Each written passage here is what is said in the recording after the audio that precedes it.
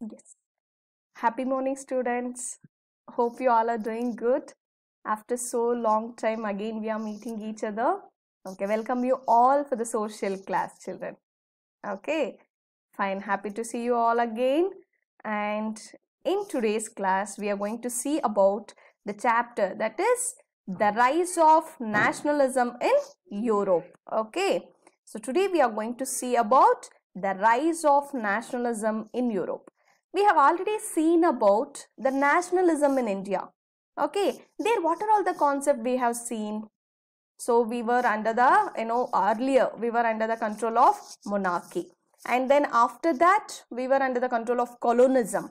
And again, the people were struggled to get the freedom or the nationalism. Yes or no? And in today's class, we are going to see about the rise of nationalism in the entire Europe. Just guys, imagine earlier we didn't have, you know, uh, now how we have divided the countries. We didn't have countries like this. Okay, because in the entire Europe, you know, the continent, the how the people were divided or how the places were divided. It was like a monarchy. You know the one kingdom will be there one king will be there. You know the one provinces will be there. So like that it was divided. It was not like a countries has been divided. Okay? So but later we have seen in your ninth standard. Do you guys remember?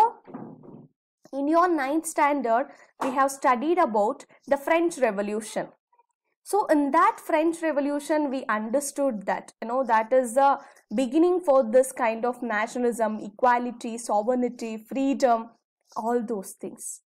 So in France, the people were struggling to be a free, you know, uh, to have a equality among themselves, to become a freedom. Okay. So there what happened, children? They started to fight against the monarchy okay? Same in the entire europe how the countries were divided how they became independent country. Okay? So that concept we are going to see about in this chapter how the countries has been divided in europe. So that is what here we are seeing that the rise of nationalism in europe. So europe is a continent in that continent how many countries has been you know divided and how it has become independent nation? That we are going to see okay? Because yes the topics we are going to discuss in today's class we'll see the introduction part alone and we'll go for recapitulation okay? Yes children. So just imagine you know the europe is an entire continent okay? One continent and in that continent so many countries we have got. But earlier in the beginning earlier we didn't have you know the specific countries. For example like german poland ireland. We didn't have like this. The german itself was you know the german was divided between the many you know the countries. Now as we call like poland i know like that so it was a part of the many other countries of the provinces. So later, uh, you know, they started to analyze, they wanted to become a one single nation and then they started to fight against that or, you know, they started to work upon that and finally they got one single independent country or the nation. Okay. So, yes, the one more thing children, I know today's homework by the end of the day after this chapter what you people will be doing? You just browse uh, you know check the old maps and all. Just you know take the you know the entire Europe you know the continent map and try to mark the countries within that okay? Which are all the countries are there in that continent you have to mark okay? So the next thing here we are telling that the rise of nationalism in Europe. Okay, what do you mean by nationalism, children? What is the meaning of nationalism? Yes, exactly. It is a identification with one's own nation and support for its interest. So, for example, what happened for in India? So, it is a independent nation or independent country And here what happens? We'll be proudly telling that I'm an Indian. Yes or no? So if there is no India, so the people were struggling the identification of their own nation and support for its interest, whatever the interest about that particular country, it should be there without any interference of the other nations. Okay, see here, especially to the exclusion or detriment of the interests of other nations. So, other nations should not influence their interests. Okay, that is what the main idea of this nationalism. Okay, that is why the people were struggling in the entire Europe. So, in Europe, how the countries has been divided became independent nation. And this entire chapter will be seeing about that. Okay. So in the entire europe how the countries were became independent. Okay. Yes. So coming to the you know the introduction. The frederick Sorrieu was a french artist who made a series of four prints in the year 1848 through which he visualized his dream of world made of democratic nations and republics. So we have already seen about the French Revolution children. So how those people were struggling to become a free, okay, the freedom or to get the equality or to abolish the monarchy. Okay. So, you know, the Frederick, you know, he was a one of the French artist so he has you know uh, drawn almost a series of prints the paintings. So in his paintings he used to visualize or he used to dream about the word. The how has to you know the word has to be filled with the democratic nations and the republics. Okay the socialist republics. So we know that what do you mean by democracy? Democratic nations means the every country has to be independent and they should i know the people should have the freedom okay? And republics it should have a own rights. The people should have their own rights okay? So that is what he was visualizing in his paintings okay? See here.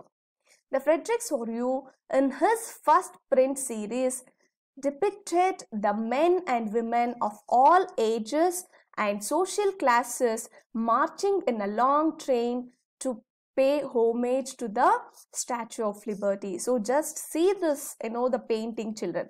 So what he's imagining in his, you know, the first painting. Yes, the series of people, you know, the lot and lot of people, the men and women, both men and women with all the classes and all the ages. That means irrespective of their social classes and their age, all were, you know, marching towards like a human train. It's like a human train. They were marching towards, you know, to the, to pay homage to the Statue of Liberty. Statue of Liberty. They were, you know, the freedom. To show the freedom. Okay See here. This procession way past the Statue of Liberty is followed by the USA, Switzerland, Germany, Austria, the Kingdom of Two Sicilies, you know, the Lombardy, Poland, England, Ireland, Hungary and Russia. So it was like a procession way past from the, all the people were, you know, the in the Europe, the many countries they were doing this okay his imagination about the word. Okay see here. The christ sorry christ saints and angels gaze upon the scene from heaven which symbolizes fraternity among the nations of the whole world. So here what happens? Here you can see children you know the angels are there the christ is there saints are there so what you know they are blessing the people from the heaven frat you know it is it symbolizes the fraternity among the nation of the whole world. So all the nations they are you know they're becoming fraterned. Okay. So hope you guys are understanding right? So in this entire chapter we will be studying about how in the europe the rise of this nationalism about you know the one's own nation the idea of the own you know having their own nation has been started. Okay.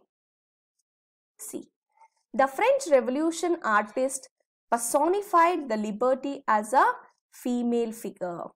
So here what they are telling in the french revolution the artists you know they symbolized or they have shown the statue of liberty as a female figure okay even in india also we'll be calling you know india as a mother you know motherland and language is like a female. So we are treating like that. So same there also in the french revolution the artist they started to imagine or they started to personify the liberty as a female figure. Okay so you, here we can see that it's a female figure. See here for example what you know we'll see the example how they are personifying. See the statue of liberty is a female figure. Yes or no children? The statue of liberty is a yes female figure only. And bearing the torch of enlightenment in the one hand see the torch of enlightenment in the one hand and the charter of rights of man in the other hand. Here we can see the charter of rights in the other hand and absolutist institutions were shown as shattered remains on the earth in the foreground of the image. So what do you mean by absolutism? Yes, children. So they will be having like a supreme power they'll be having. For example, uh, take it as an example of India. So India, even though the central government is, you know, uh, at the absolute power, but still we have the Supreme Court to question them. Yes or no? If something goes wrong, we have Supreme Court to question them. But earlier what happened? For example, if you take like a dictatorship, the absolutism is a kind of like a dictatorship. What happens there?